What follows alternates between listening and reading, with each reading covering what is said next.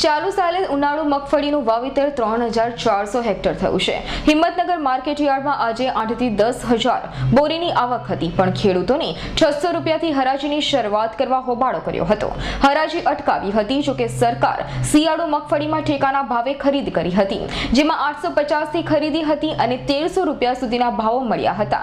મગફળીમાં એકરે ખેડૂતોને વાવણીનો ખર્ચ અંદાજે દસ હજાર રૂપિયા જેટલો આવે છે. પણ સરકારે ઉનાળુ મગફળીની ખરીદી શરૂ કરી નથી. જેને લઈને હિંમતનગરના માર્કેટમાં બીજી વાર ખેડૂતો હોબાળો કર્યો હતો અને પોતાનો રોષ વ્યક્ત કર્યો હતો.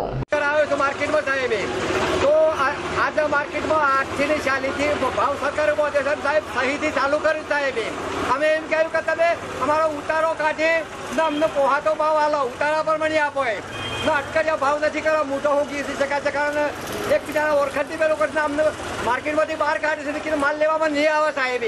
ક્યારે કોને કહ્યું એવું? તો મને આવડતું નથી. અમને ખબર એ માર્કેટ વાળા વેપારી આલો તો આલો કે ના આલો તો ઘેર લઈને તો કીધી હાલ તો માર્કેટ યાર્ડમાં વેપારી દ્વારા મગફળીના ભાવો ગુણવત્તા પ્રમાણે આપતા હોય છે.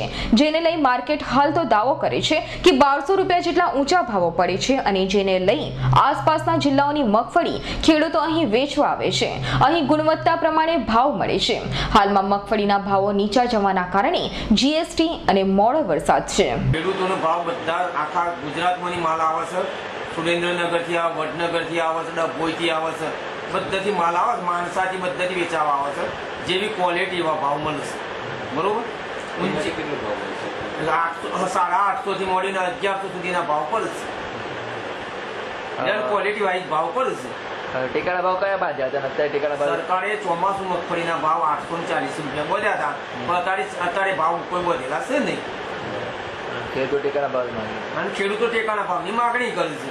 હવે એ તો આપણા પાસે ટેકાના ભાવ ક્યાંથી આવીએ? પણ મગફળીનું માર્કેટ હાલ તો જીએસટી અને વરસાદ બાદ મગફળીના વાવેતર શરૂ થયા બાદ જ ભાવો ઊંચા આવશે, તેવું વેપારીઓ માની રહ્યા છે. દીપકસિંહ રાઠોડનો રિપોર્ટ હિંમતનગર.